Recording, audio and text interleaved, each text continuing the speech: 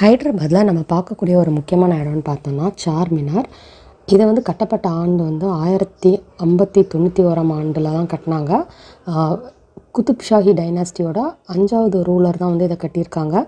இதோட கன்ஸ்ட்ரக்ஷன் வந்து ஆயிரத்தி ஐநூற்றி எண்பத்தி ஒம்போதில் ஆரம்பித்து ரெண்டு வருஷம் கன்ஸ்ட்ரக்ட் பண்ணியிருக்காங்க. அந்த காலத்திலே வந்து இதை கன்ஸ்ட்ரக்ட் பண்ணுறதுக்கு ஒம்பது லட்சம் பட்ஜெட்டாக இருக்குது இதை சுற்றி வந்து பெரிய மார்க்கெட் இருக்கும். இதில் வந்து நிறைய ஜுவல்லரி பேங்கிள்ஸ் அதெல்லாம் இருக்கும். பக்கத்துலேயே பார்த்தீங்கன்னா பேர்ல்ஸ்க்கு வந்து ரொம்ப ஃபேமஸான இடம்.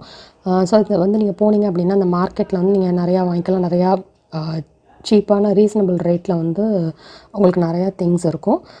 ஃபுட் ஐட்டம்ஸும் எல்லாமே வந்து உங்களுக்கு பக்கத்தில் இருக்கும். ஆனால் ரொம்ப வந்து க்ரௌடடாக இருக்கும் பீக் டைமில் ஸோ நீங்கள் ஹைதராபாத் போனீங்க அப்படின்னா மறக்காமல் இதை விசிட் பண்ணி பாருங்கள்